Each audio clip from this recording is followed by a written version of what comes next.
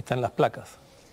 Buenos días, compañeros. Así es, se está investigando a Reiner Agurto Becerra y los vínculos que tendría con posibles bandas criminales. Acá están las placas que él hacía, son eh, de metal, no de aluminio, y no tienen el detalle, por ejemplo, que hay una placa original que tiene el relieve muy notorio, en cambio en la placa falsa eh, se nota que es rudimentario y no se aprecia que esté muy bien hecho.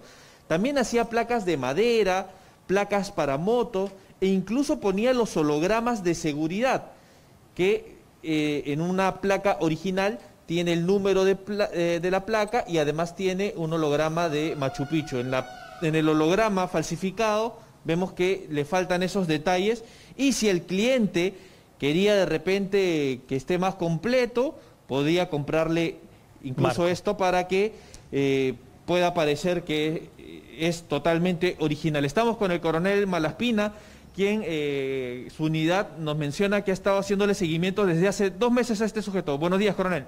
Muy buenos días. Sí, efectivamente, la Policía Nacional del Perú, en esta oportunidad, a través de la de PRODE Norte, con el Grupo Especial de Inteligencia que tenemos, el día de ayer intervino a Reiner Agurto Becerra, quien tenía un puesto de negocio dedicado aparentemente al repintado de placas. Pero ya nuestro personal tenía conocimiento que este sujeto se dedicaba a la falsificación de las placas metálicas. Entonces es que se montó el operativo y se ha tenido pacientemente que esperar que justamente se encontró en su poder y en pleno trabajo de esta placa de rodaje, como se puede apreciar, y usted muy bien lo ha descrito, sin los dispositivos de seguridad plenamente falsificados, conforme se aprecia en una placa original. ¿Cuánto cobraba por una placa original? Porque vemos, hay de moto y hay de, auto. ¿Cuánto cobraba aproximadamente? Bueno, las metálicas, de material galvanizado, cobraba 180 soles por cada una, en tanto que la de moto, 80 soles metálicas. Y también realizaba los pintados en madera, con las mismas características, con las mismas dimensiones, de los vehículos mayores y menores. Ya las tenía listas solamente para poner los números, los campos numéricos en el cual eh, hacían a pedido.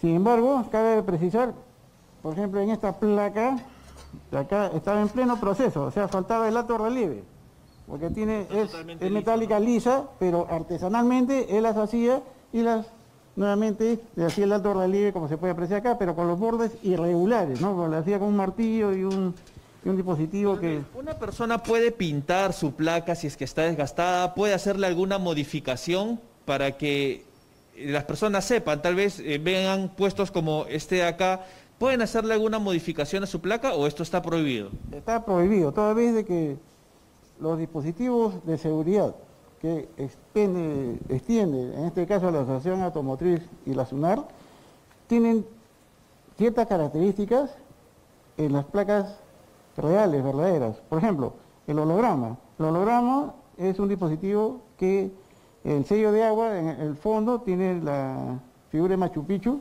y también el número de, serie de la placa original.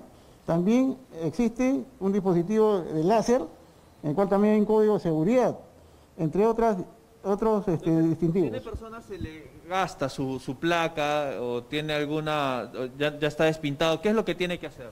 Bueno, pedir un duplicado. Pedir un duplicado a la Asociación Automotriz en este caso y a través de la SUNER. Es más... No, no, estas personas que tienen estos negocios que pueden estar dedicados a ilícitos como el que estamos viendo. Y menos, y menos pues este mandarlas a confeccionar, porque eh, las personas que recurren a, esta, a estas prácticas estarían inmersos en un delito. ¿Cuál es el delito contra la fe pública? Falsedad genérica, suplantación de identidad vehicular, que tiene una pena de 3 a 5 años.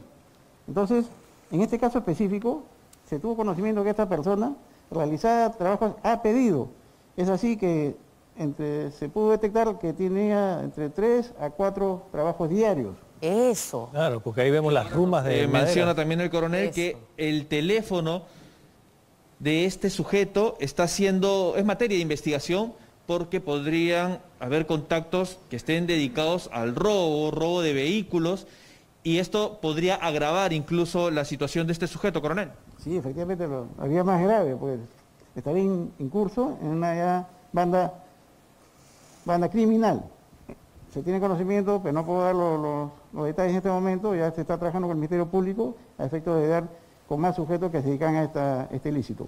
Muy bien, todavía hay materia para investigar. Entonces, compañeros, ven, esto es la presentación que ha hecho la policía de este sujeto y de su taller artesanal, en donde cobraba 180 soles por cada placa que bien podían caer en manos de la delincuencia. No, siento un negocio redondo, ¿no? 180 por 3, por 5, imagínense a la semana cuánto ganaba. Estaremos atentos entonces a esas investigaciones que ha la DIPROVE. Muchas gracias.